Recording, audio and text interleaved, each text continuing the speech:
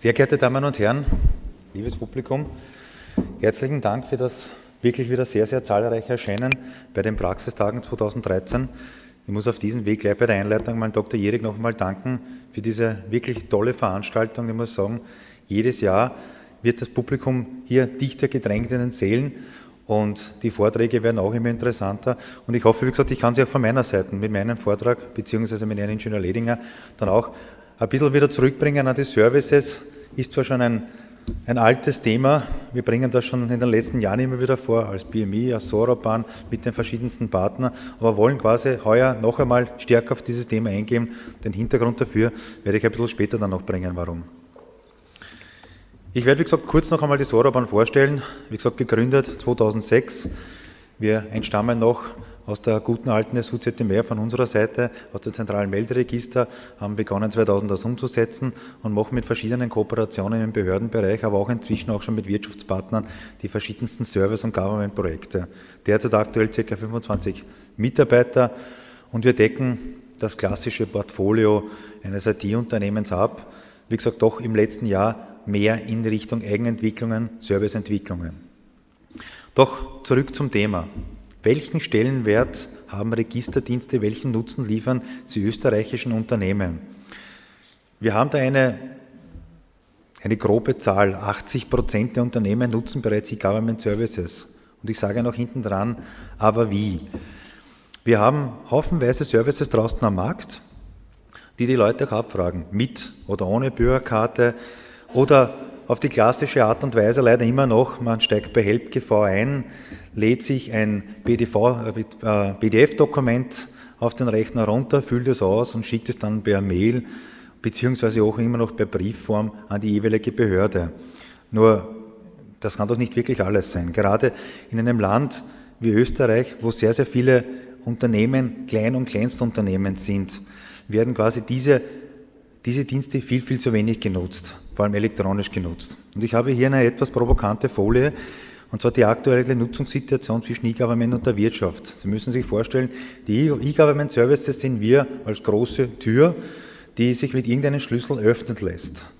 Nur wir haben den Eindruck, ähm, die Unternehmen und die Wirtschaft selbst nutzt nicht den Schlüssel dazu, sondern schaut einfach durch das Schlüsselloch durch.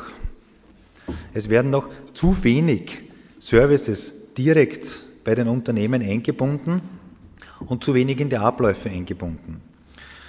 Wie gesagt, eine Zahl von dem Bundeskanzleramt selbst. Wir haben derzeit circa, ich nehme jetzt mal die letzte Zahl, wir haben ungefähr 200.000 Bürgerkarten draußen ausgestellt. Und die Unternehmer schauen wirklich durch dieses Schlüsselloch durch. Es wird noch viel zu wenig gemacht in der Sache und wir könnten hier noch viel, viel mehr digital umsetzen und in bestehende Konzepte einbinden. Wir wünschen uns zwar von der Behörde, von dem Ministerium, zwar schlankere Prozesse, schnellere Prozesse, und behindern sie zum Teil selbst, indem wir immer noch Briefe, Mails, Papieranträge hinschicken, weil wir einfach zu wenig diese, diese bestehenden Services nutzen. Und ich finde, hier ist noch sehr, sehr großer Nachholbedarf. Man als Beispiel, äh, ich war selbst jetzt in der Situation, quasi eine Förderung einzureichen über, eine, äh, über ein Institut, das quasi für internationale Entwicklungshilfen Förderungen vergibt. Und Sie müssen dort zwar Firmenregisteranträge abgeben, möglicherweise auch einen Gewerberegisterantrag abgeben, aber elektronisch geprüft ist das bis heute nicht geworden. Wir tauchen immer wieder Zahlen auf, wo Antragsteller Anträge abgeben und falsche Geburtsdaten eintragen oder falsche Namen eintragen, um mehrmals quasi wirklich an Förderungen heranzukommen, weil einfach die bestehenden Mediensysteme, die bestehenden Register einfach nicht verwendet werden. Und Gerade hier wollen wir ansetzen. Sie werden draußen vielleicht unseren Stand schon gesehen haben, wir sind die mit dem großen Windrad. Das heißt nicht, dass wir jetzt äh, in Windenergie investieren, möglicherweise doch ein bisschen, aber wir wollen ein bisschen an frischen Wind die Sachen reinbringen. Wir haben doch in den letzten Jahren sehr, sehr viel E-Government Know-how gesammelt und wollen das jetzt an die Wirtschaft weitergeben. Nämlich dahingehend weitergeben, sie zu unterstützen, mit technischen Vorgaben, technischen, technischen Möglichkeiten, aber auch quasi die Gesetzeslage ein bisschen zu betrachten, was können und was dürfen Sie als Unternehmer eigentlich alles.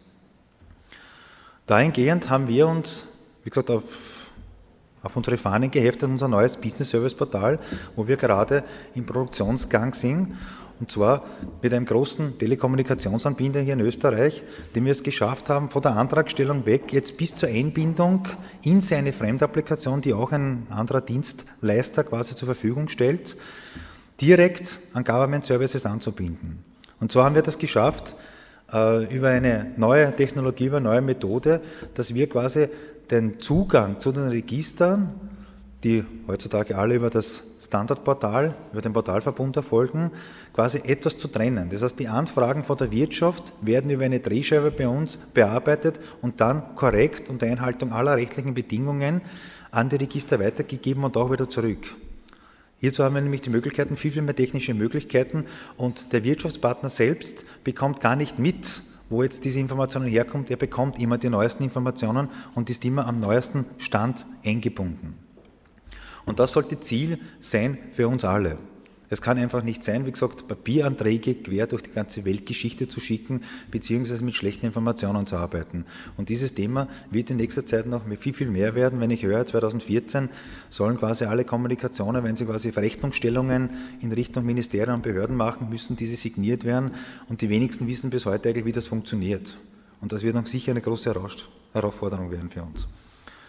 Wie gesagt, ich wollte nur einen kurzen Überblick über unsere Produkte, unsere Applikationen geben und will gleich direkt an den Herrn Ingenieur Ledinger weitergeben, weil der hat einen viel, viel besseren Überblick, was momentan servicemäßig funktioniert, was es gibt und wir sind auch selbst schon sehr interessiert.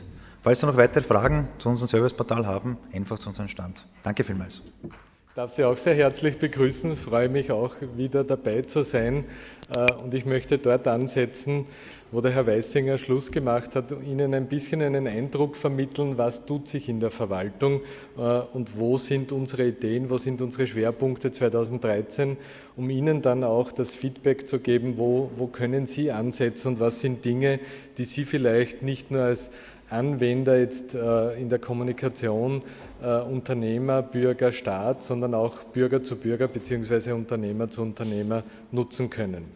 Äh, die Themen in der digitalen Welt sind natürlich sehr umfangreich und Sie kennen das von meinen Folien. Ich starte doch immer sehr gerne damit, dass äh, wir eine Unzahl an Themenfelder haben, die wir heute in der digitalen Welt beackern müssen. Wir haben vorhin Smartphones gehört, da ist Cyber Security, da ist Cloud Computing, da sind äh, Shared Services und so weiter. Und wir haben uns auch Gedanken gemacht und unser Backoffice ist relativ kompliziert. Äh, aber es arbeitet es sehr intensiv.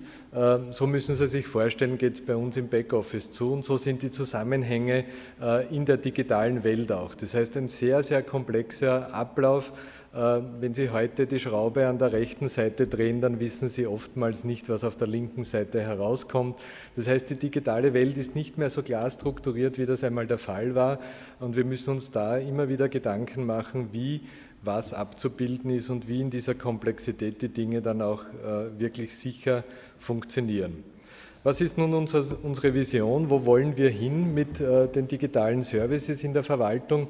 Für uns ist, ich habe Ihnen hier das mitgenommen, für uns ist ganz wichtig, dass wir das kooperativ machen. Kooperativ, Bund, Länder, Städte und Gemeinden, äh, weil das sind unsere Partner. Sie als Anwender soll das nicht tangieren, wo äh, die Zuständigkeit liegt, sondern Sie haben ein Bedürfnis, Sie haben eine Unternehmenssituation, Sie haben eine Bürgersituation und dies abzudecken.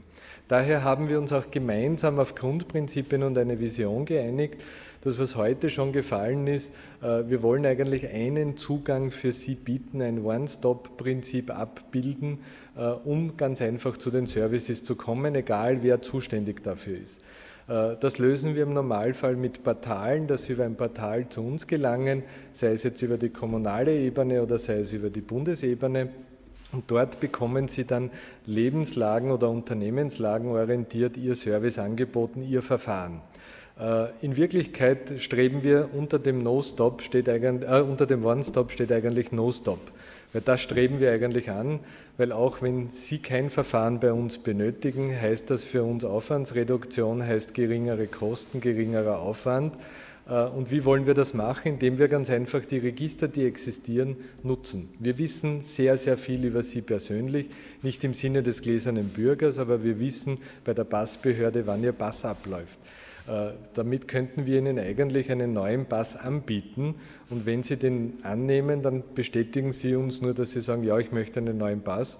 Äh, wir schicken Ihnen einen Terminvorschlag, Sie machen elektronisch einen Termin aus und holen sich den neuen Pass ab. Alles Dinge, wo wir glauben, dass wir sehr wohl im No-Stop ein Potenzial haben. Wenn Sie auch hernehmen, zum Beispiel ganz triviale Dinge, wenn ein, eine Geburt eines Kindes, die wird gemeldet an die Personenstandsbehörde. Äh, es gibt, glaube ich, also ich man das einmal ausheben lassen, kaum Menschen, die Familienbeihilfe nicht in Anspruch nehmen. Ja. Es wäre viel, viel billiger, ihnen die gleich auszuzahlen. Ja.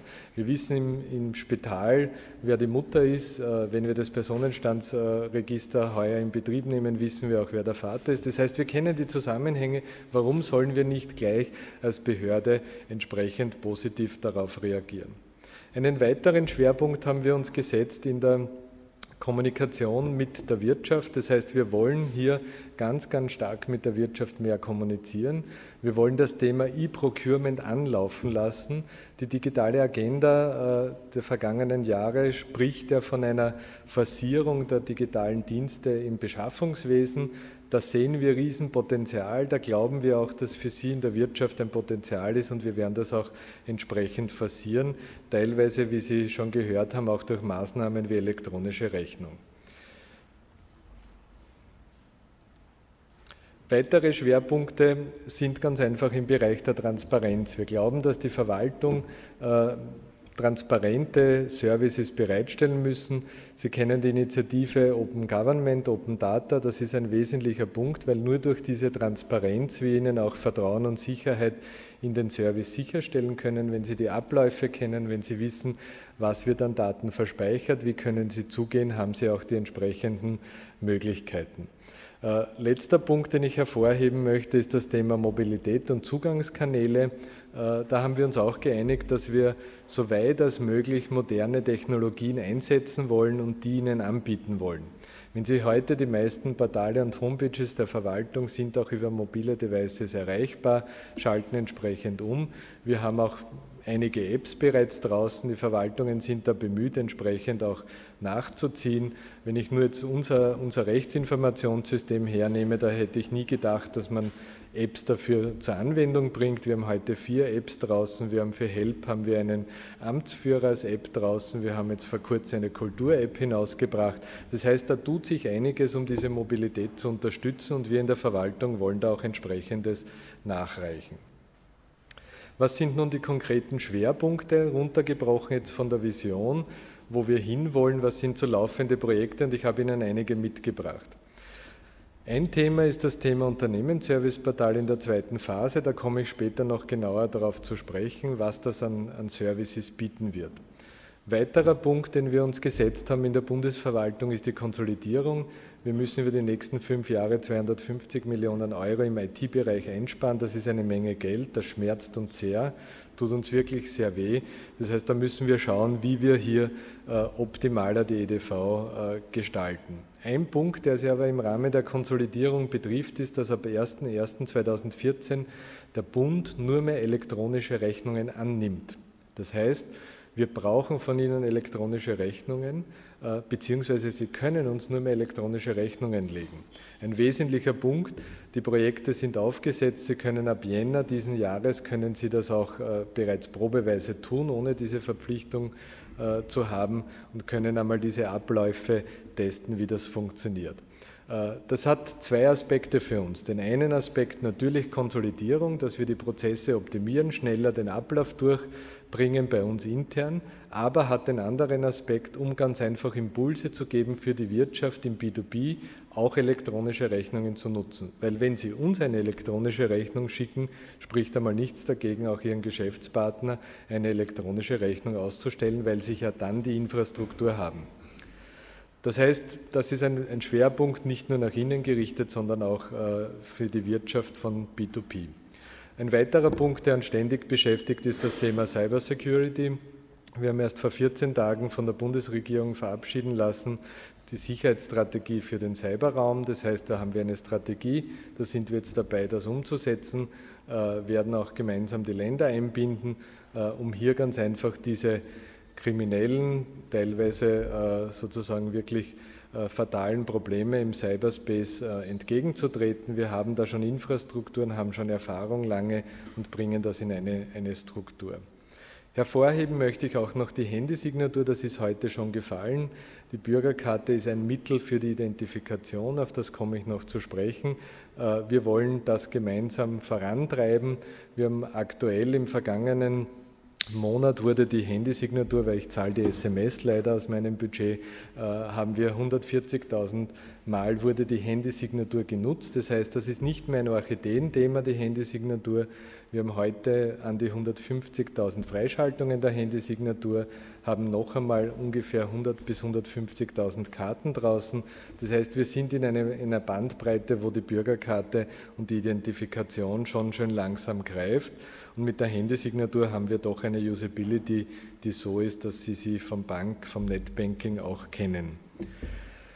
Weitere Punkte, wir wollen auch ein bisschen in die Zukunft schauen, äh, haben uns entschlossen, hier auch das Thema zukünftiges Arbeiten in der Verwaltung äh, in Form eines White Papers oder einer, einer Konzeption auszuarbeiten. Äh, für uns ist ganz einfach wichtig, wie entwickelt sich das Umfeld. Wir haben diese Themenmap, haben Sie gesehen, und künftig gehen wir mal davon aus, dass wir keine Mails mehr bekommen, intern auch nicht mehr mit Mails kommunizieren. Äh, das heißt, wie, wie gehen wir mit dieser Entwicklung um? Meine Kinder sind beide schon weit über 20 Jahre, aber die lesen meine Mails eigentlich nicht. Wenn es gut geht, lesen sie ein WhatsApp äh, und ich kann sie in Facebook und Twitter erreichen, aber nicht mehr über die herkömmlichen Wege, die wir gewohnt sind. Das heißt, wir müssen uns überlegen, wie wir innerhalb der Verwaltung arbeiten und wie wir unsere Kommunikationswege gestalten. Weiterer wichtiger Punkt ist das Thema Partizipation und Bürgerdialog. Das ist ein großes Thema. Wir wollen, wie Sie vorher in der Vision gesehen haben, mehr Transparenz, mehr Beteiligung. Dazu müssen wir auch evaluieren, wie diese Dinge aussehen. Sie kennen auch aus den Medien das Demokratiepaket, das ist umzusetzen wie können wir da elektronische Services anbieten, weil nur mit Hilfe der digitalen äh, Möglichkeiten haben wir die Chance, das auch entsprechend transparent und gut darzustellen. Open Government Data fällt ein bisschen in diese Ecke. Äh, da haben wir eine sehr gute Basis, äh, insbesondere auch durch die Prioritätssetzung auf der kommunalen Ebene. Wien ist da hervorzuheben. Die haben sehr, sehr früh begonnen, das politisch auch zu verankern. Äh, da haben wir eine Kooperation aufgebaut gemeinsam, sind auch dabei im Dachli-Raum, also Deutschland, Schweiz, Österreich und Liechtenstein, das entsprechend zu harmonisieren und die Metadaten abzustimmen, um auf der europäischen Ebene homogen vorzugehen. Wir sehen da ein großes wirtschaftliches Potenzial auch, äh, aber auch das Thema, dass wir ganz einfach durch diese Transparenz auch Innenwirkung haben, weil viele Datenbestände von anderen Behörden, von Behörden genutzt werden können äh, und damit auch ein interner Effekt ist. Cloud-Thema und Mobilität ist selbstverständlich auch dabei. Ich möchte jetzt auf ein paar spezielle Themen eingehen, wo Sie äh, vielleicht den einen oder anderen Ansatzpunkt finden, der für Sie von Interesse ist. Das Thema Unternehmensservice-Portal. Wir haben dieses Portal vor mehr als drei Jahren begonnen aufzubauen auf den Erfahrungen von Help für Unternehmer sind nun in der Phase, dass wir personalisierte Zugänge haben und wollen nun hier stärker auf die Bedürfnisse der Unternehmer eingehen äh, in der personalifizierten Version. Das heißt, äh, noch stärkere Etablierung als Dienstleister für andere Behörden, wo man Verfahren gemeinsam abwickelt, wo man durchgängige Meldeprozesse äh, zu Behörde, vom Unternehmer zu Behörde abwickelt. Das haben wir aufgesetzt. Dazu gibt es auch einen, einen, sozusagen einen Masterplan über die nächsten Jahre, den wir abarbeiten. Der ist nur für Sie dann zum Nachlesen als Interesse hier in den Folien, wo wir diese Dinge versuchen zu positionieren. Ziel ist es, dass wir am Ende des Tages äh, viele, viele Verfahren, die sehr oft benötigt werden, integriert haben, dass wir dieses One-Stop oder wenn geht sogar dieses No-Stop-Verfahren hier implementiert haben. Hier haben Sie die, die Fachkonzepte. Wir beginnen hauptsächlich bei den Themen Gründung, Förderung und Ausschreibung, dann Stammdatenverwaltung und Jahresendmeldungen. Das sind die Funktionsgruppen, die wir gerade analysieren und durchleuchten, wo wir die Prozesse anschauen und versuchen gemeinsam mit den zuständigen Behörden dann die entsprechenden Bündelungen durchzuführen.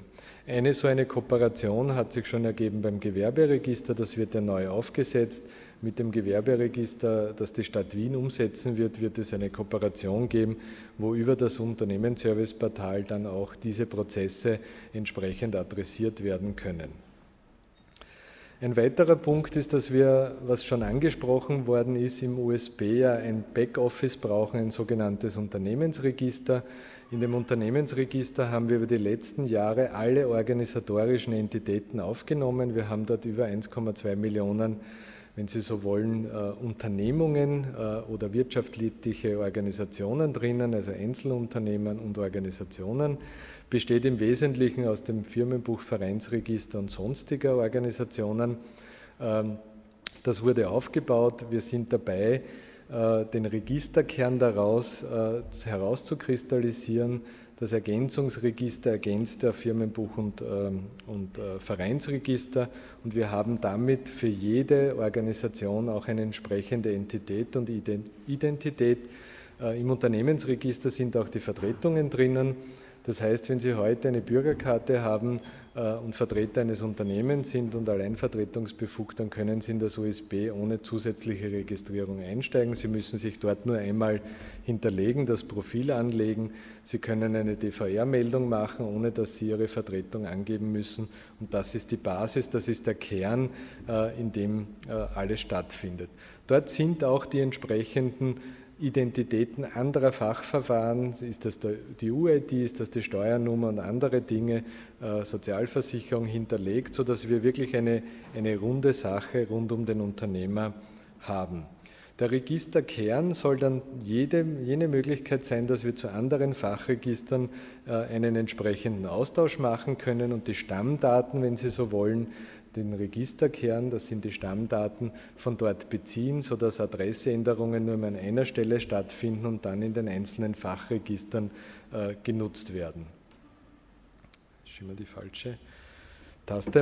Äh, wenn Sie das jetzt vom Kern so noch einmal visualisiert sehen, dann haben wir einen Unternehmensregisterkern mit den Stammdaten und zum Beispiel Gewerberegister, Firmenbuch und die diversen anderen Fachregister bedienen sich dieser Stammdaten bzw. aktualisieren diese Stammdaten. Selbiges ist für natürliche Personen mit dem Personenstandsregister, wo wir äh, mehr oder weniger auch einen Personenstamm aus ZMR und Personenstandsregister dann herauskristallisieren und der sollte dann auch die anderen Register entsprechend bedienen.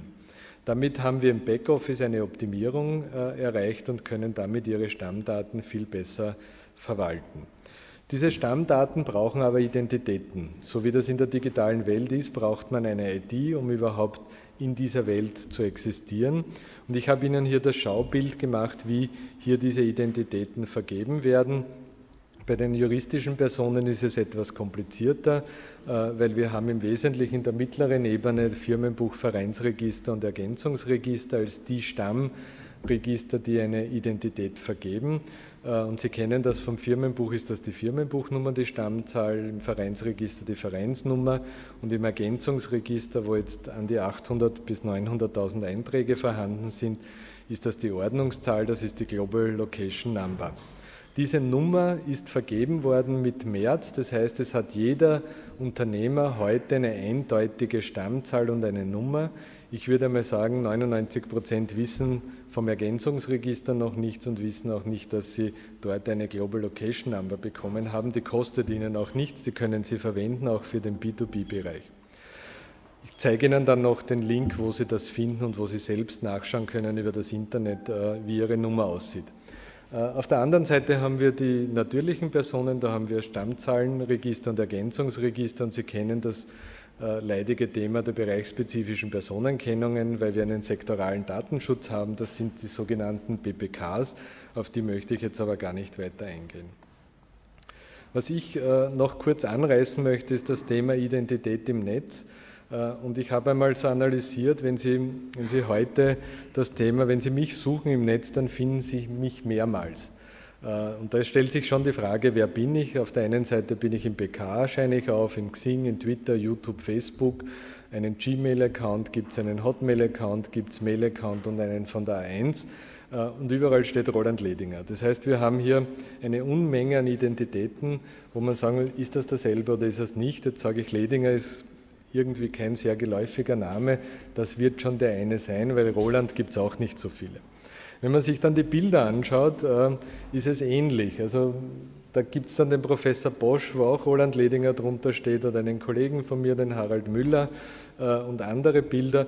Aber im Wesentlichen kann man sagen, ja, irgendwie kann man sich schon ein Bild auch von mir machen, wenn man mich nicht kennt. Aber die Identität ist noch immer nicht ganz klar. Wenn Sie das vergleichen, Ihren, normalerweise Ihren Vermieter oder die Vermieterin, die Hausärztin und die Bankberaterin oder den Bankberater kennen Sie.